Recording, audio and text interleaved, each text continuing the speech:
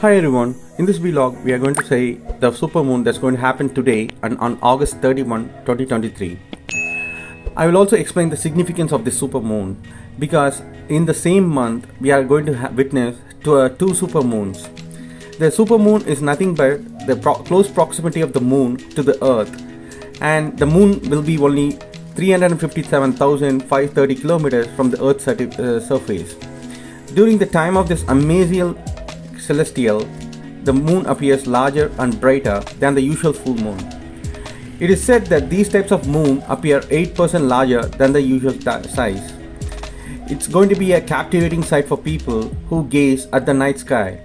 The Sturgeon moon, which uh, they normally call as because the famous sturgeon fish that's uh, that appears only in the Lake Champlain and Arizona in the United States the during these months it's going uh, it's going to be the season for them to get caught. And it's going to be captivating sight for people who gaze at the night sky. The first and the last supermoon of the year occurred in july while the fourth supermoon will occur on september 29 2023 there are totally 13 supermoon occur in the year 2023 sky gazers can get the full opportunity to watch these celestial phenomenon which they cannot afford to miss so we can witness these supermoons with the use of the binoculars or the backyard uh, telescope.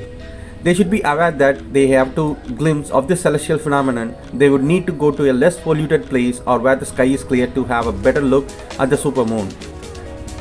The timing of the supermoon to be witnessed in India are 12:00 a.m. IST on August 2 and 7:40 a.m. on August 31. A supermoon exceeds the disk size of an average size moon by up to 8 percentage and the brightness of an average size full moon by some 16 percentage.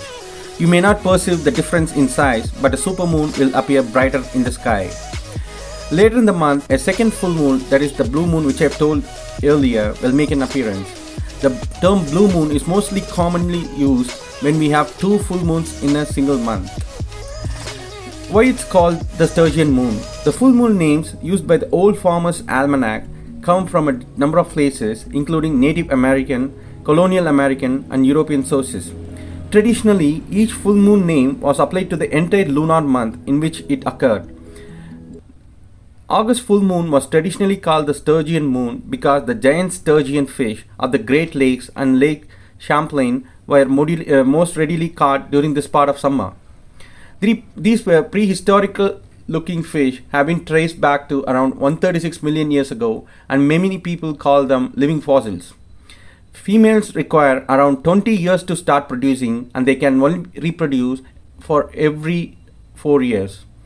They can live up to 150 years and today there are about 29 pieces worldwide including the lake sturgeon found in the Great Lakes. They have evolved in size from the size of a bass to monster sturgeon as big as a Volkswagen. The lake sturgeon is quite rare today due to intense overfishing in the 19th century. So get ready viewers to watch the supermoon that's going to happen tonight. That again I'm going to uh, mention the time that is in India